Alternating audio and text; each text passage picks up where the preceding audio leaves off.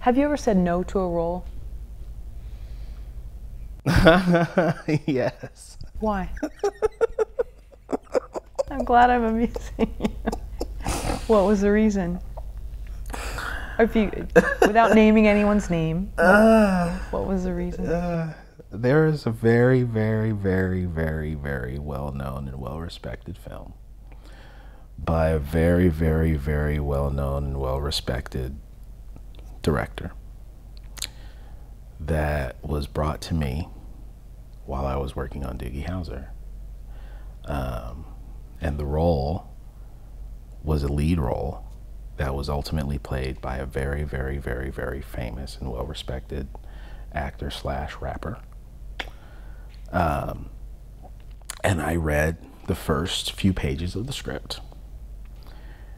And it was, I couldn't, I couldn't relate to it.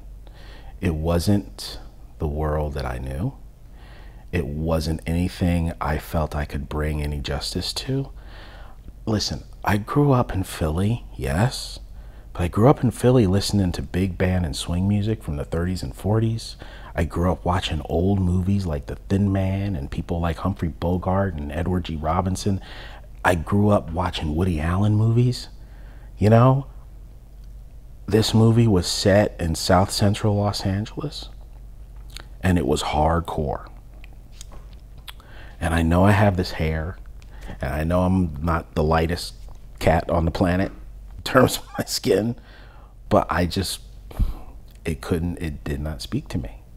It just didn't speak to me. I'm, I'm a, I'm a weird bird, man. I'm just a different dude. And I said no. And the film became incredibly successful, iconic. It launched the careers of just about everybody who was in it, including the directors. Um, and I don't regret it. I'm happy that everybody sort of blew up from it. But I wouldn't. I would have been horrible. I would have been horrible in that because it's just not my world. And I left Philly and moved to Ventura and grew up with surfers. So I'm not. I'm the weirdest dreadlock black guy on the planet. I, you know, the stuff I'm supposed to like, I don't like. The stuff I do like is weird. I'm just weird. I'm not. I am uncastable. No one's looking for me. You know what I mean?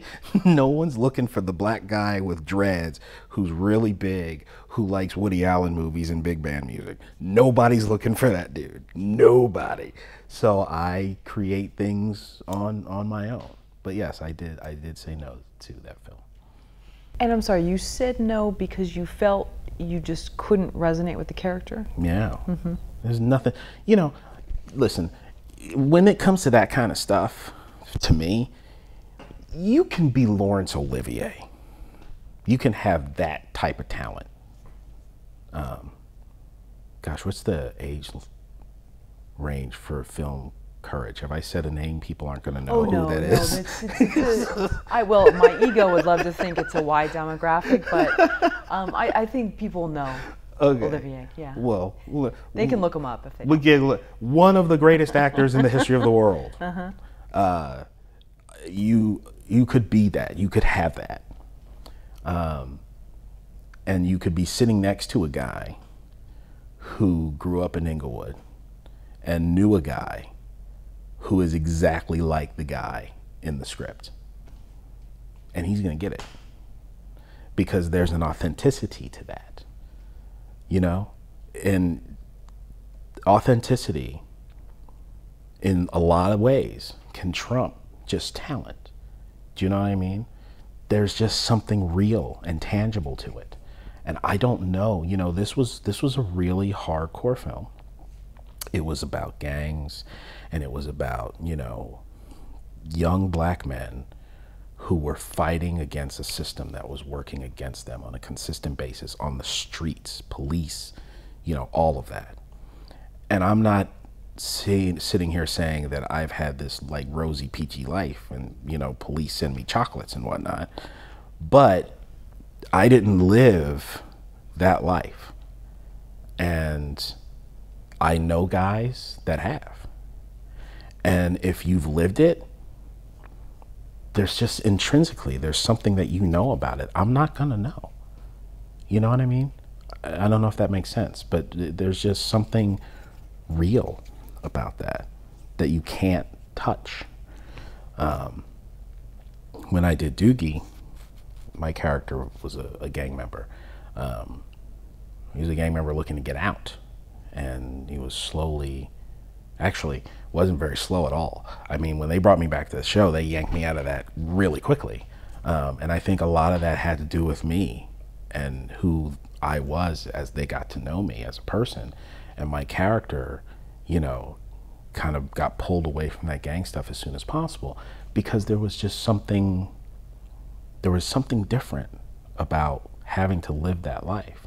And I have the utmost respect for people who come from that and rise and grow and, and create and, and, and are successful. And there is the word transcend that life because it's important and it's needed. Um, I'm just not that guy, you know? How long did it take you to make that decision? Not very long. When you were presented with the offer? I think I read 10 pages. I called my agent. I said, it's not something I can do. Right away? Yeah. Wow. Yeah. You didn't even give it like 24 hours, you just said, I just know instinctively. No. Mm -hmm. I mean, when you know, for me, yeah. you know, when you know, you know. Right. I mean, I could have gone in there and wasted everybody's time you know, I could have walked in and be like, yeah, what's up? And I'm like, I'm terrible at that stuff. I don't, you know, I don't even listen to rap music. I don't, I don't, I, I, don't like it. I get it. I understand. I get that it's, it's a whole, you know, like, uh, what's the word? It's like a whole lifestyle hip hop. And it's like, it's an empire in and of itself and it's transcended and it's worldwide and everybody I know people that only listen to hip hop. Right. I couldn't tell you who is anybody.